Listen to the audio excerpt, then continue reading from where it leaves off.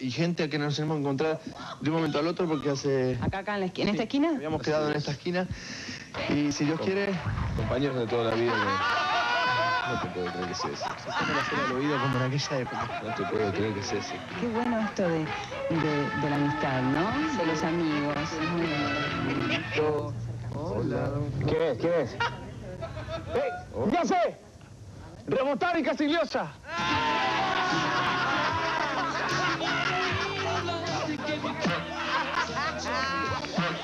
Por la peste en las manos, por el olor de las manos. igual, sigues igual. ¡Te voy a matar! ¡Te voy a matar! ¿Por qué de vosotros? Es igual. ¿Por qué de vosotros? Vais a- Pareciste así como si nada. Salí como andaluz, yo sabía que me iba a salir. Bueno, y llegó tu carta el otro día. Y me. No, no, no. No llores, no llores, no llores, no. No, tranquilo, no llores, no llores. Es que siempre fue muy emocional. Se ponía en clase igual, ¿eh? En clase igual, sí. Cuidado, cuidado. Que le da el ataque, le da el ataque, pobrecito. Se pone, siempre está un poco, tenía, le dio un ataque de, de- de- ¿cómo se llama? De- del moquillo, el moquillo. Y se puso mal, pero, pero ya está bien, ¿eh? Tranquilo. No, cuidado. Lo que me acuerdo yo siempre, que Emilio siempre tenía entrar para ir al circo. el tipo, no sí, sé, ¿qué hacemos este fin de semana? Salgamos con una mina, decíamos algo. Decía, no, yo tengo cuatro entradas para ir al circo. Los parientes que To- tenía. todos los días íbamos al, al circo, pero era divertido. Es más bonito que, que la, que la televisión, ¿verdad? Hay un, hay un individuo, un tipo ahí que me, que me carga muchísimo, que es uno...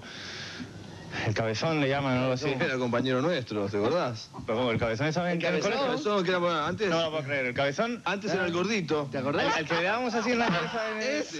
¿Nos volvíamos locos? No lo puedo creer. Sí, se sigue, comi- se sigue comiendo, metiendo cosas en la boca. Todo, todo. Panchos. Pero seguirá siendo el San Lorenzo, ¿no?